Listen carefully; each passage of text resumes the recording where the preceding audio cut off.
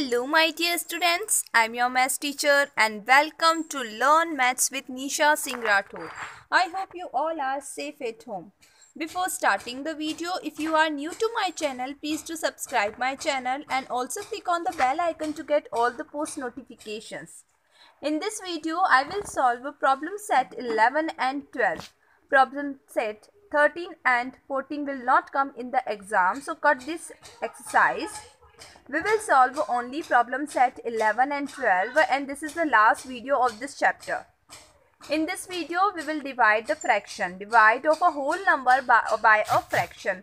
आप इस एक्सरसाइज के अंदर प्रॉब्लम सेट 11 एंड 12 में डिवीज़न सीखेंगे जिसमें होल नंबर को फ्रैक्शन से किस तरीके से डिवाइड किया जाता है वो हम सीखेंगे so let's start the video first we will solve try part first question 16 by 4 upon nine so 16 is a whole number 16 एक होल नंबर है, जिसे हम डिवाइड करेंगे किससे? फोर अपॉन नाइन से. Four upon nine is a fraction तो किस तरीके से डिवाइड किया जाता है? सबसे पहले आपको होल नंबर लिखना है। होल नंबर इज़ 16 तो आपने सबसे पहले क्या लिखा? 16 लिखा। देन आपको बाई की जगह डिवाइड का साइन लगाना है। Then you will write fraction fraction is four upon nine then हम क्या करेंगे? पिछली वीडियो में भी मैंने आपको सिखाया था डिवाइड को मल्टीप्लाई के साइन में बदलना है और जो भी फ्रैक्शन है, उसको क्या करना है? रेसिप्रोकल करना है। ठीक है? रेसिप्रोकल मीन्स आप उसका मल्टीप्लीकेटिव इन्वर्स लिखेंगे। जैसे फोर अपॉन नाइन है। तो फोर अपॉन नाइन का जो मल्टीप्लीकेटिव इन्वर्स होता है, वो क्या होता है? Nine upon four multiplicative inverse means numerator को डिनोमिनेटर में लिखना है और डिनोमिनेटर को न्यूमरेटर साइड में लिखना है। Then you will multiply the numerators to numerator and denominator to denominator अब आपको यहाँ पे 16 मल्टीप्लाई बाय 9 अपॉन 4 लिखा। So in this fraction 4 and 16 both are divisible by 4 यहाँ न्यूमरेटर और डिनोमिनेटर दोनों आपस में कट हो सकते हैं। 4 की टेबल से 4 वन ज़ा फोर और 4 फोर ज़ा सिक्सटीन अब आपको क्या करना है? Four multiply by nine. Four nine सा होता है थर्टी सिक्स, और थर्टी सिक्स अपॉन वन मतलब भी क्या होता है? Thirty six. अगर डिनोमिनेटर में कभी भी वन लिखा होता है तो उसकी कोई वैल्यू नहीं होती है। ओनली आप फिर न्यूमरेटर ही लिखेंगे। Question number two. सेम है 25 divided by 5 upon 13 so first of all you will write whole number 25 then the sign of multiplication, then you will write the multiplicative inverse of 5 upon 13 that is 13 upon 5. Then 5 and 25 both are divisible by 5. 5 ones are 5 and 5 fives are 25. Then you will multiply the numerators. 5 multiplied by 13 is 65. 65 upon 1 means 65 is the correct answer. Question number 3. 8 by 4 upon 5 same here 8 divided by 4 upon 5 so 8 multiplied by 5 upon 4 then you will divide this number by 4 4 ones are 4 and 4 twos are 8 then you will multiply the numerators. 2 multiplied by 5 is 10 10 upon 1 is 10 now we will solve apply part. Question number 1 4 divided by 1 upon 7 तो divide का sign है, सबसे पहले आप लिखेंगे whole number four then the sign of multiplication then you will write the multiplicative inverse of one upon seven तो one upon seven का multiplicative inverse होता है सेवन अपॉन वन ठीक है? Then multiply the numerator seven multiply by four is twenty eight twenty eight upon one is the correct answer so you can write only 28 because there is no value of 1 in denominator side. तो denominator side में जब भी 1 लिखा होता है ना तो उसकी कोई वैल्यू नहीं होती। तो हम ओनली क्या लिखेंगे? न्यूमरेटर की वैल्यू लिखेंगे। 28 is the correct answer Question number 2, 30 divided by 10 upon 12. So first of all you will write 30 then sign of multiply then 10 upon uh, 12 का जो multiplicative inverse होगा वो होगा 12 upon 10. ठीक है जस्ट अपोजिट कर देना है उसको।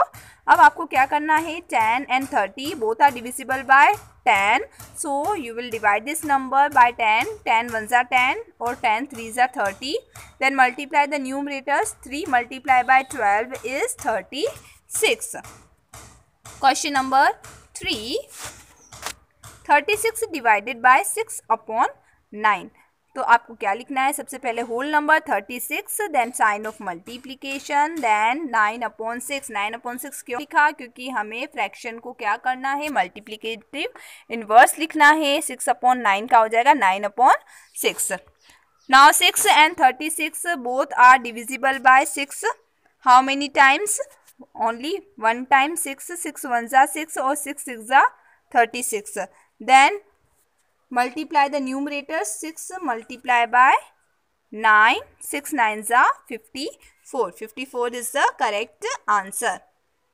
Question number 4 5 6 4 homework. So you will do this work in your homework copy. You can take a screenshot of this work and do this work in your textbook.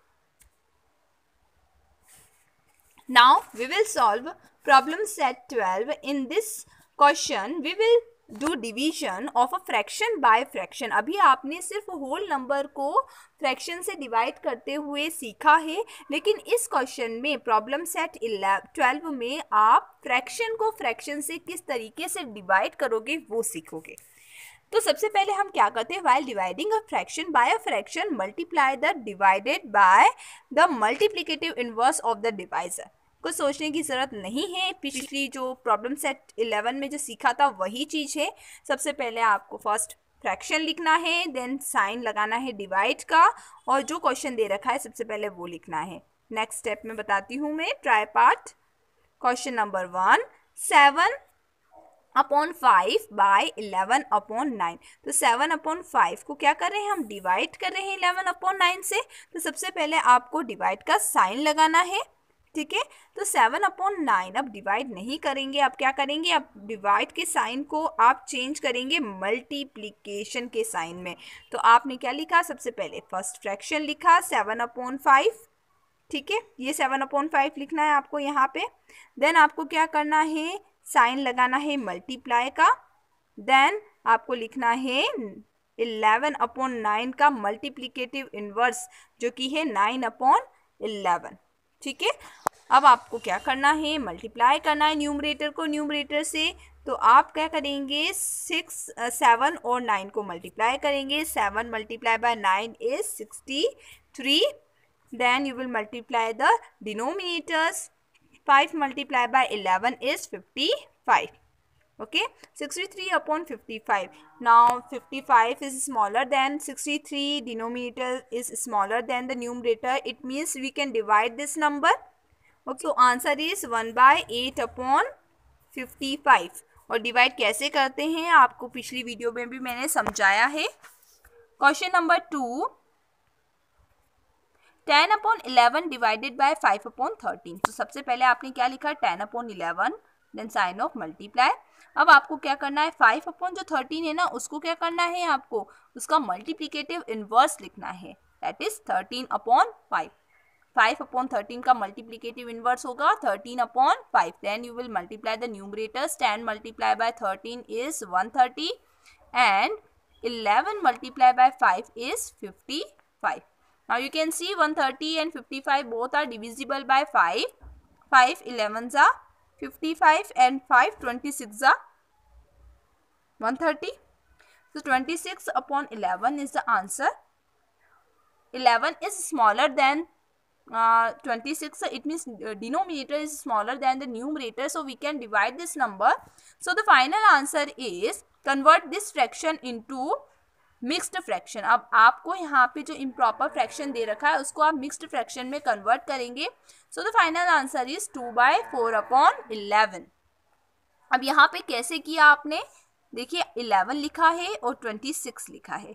ठीक है eleven का table two time बोलते हैं तो आता है twenty two minus करने पर आएगा फोर। तो सबसे पहले आप ये नंबर लिखते हैं मिडल में, ठीक है, क्वेश्चन को। Then you will write this remainder 4 at the numerator side. Then this divisor you will write at the denominator side here. So, the final answer is 2 by 4 upon 11 इस तरीके से divide किया जाता है। Question number three seven upon eight divided by six upon two तो इसमें वही करना है seven upon eight multiply by two upon six two upon six क्यों लिखा? क्योंकि सिक्स अपॉन टू का ये क्या है? मल्टीप्लीकेटिव इनवर्स है। अब आपने क्या किया? सेवन को क्या किया? टू से मल्टीप्लाई किया और एट को मल्टीप्लाई किया सिक्स से। Okay?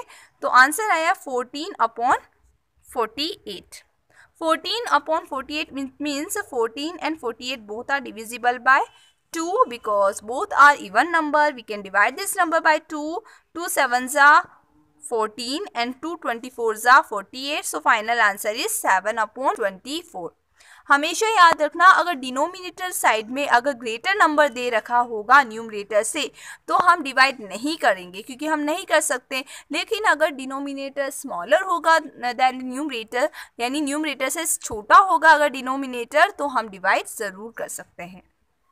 Now we will solve apply part, question number one. Five upon nine divided by eight upon fifteen तो सबसे पहले आपने फाइव अपॉन नाइन लिखा फ़र्स्ट फ्रैक्शन देन उस पर बाद में लगाया आपने मल्टीप्लीकेशन का साइन देन आपने क्या किया? एट अपॉन फिफ्टीन का मल्टीप्लीकेटिव इनवर्स लिखा, जो कि है fifteen upon eight then you will multiply the numerators five multiply by fifteen is seventy five and nine multiply by eight is seventy two 75 and 72 both are divisible by 3. 3 24s are 70, uh, 3 24s are 72 and 3 25s are 75. So the final answer is 25 upon 24. You can divide this number. You can convert this fraction into mixed fraction. Final answer is 25 upon 24. Question number 2. 16 upon 7 divided by 64 upon 12.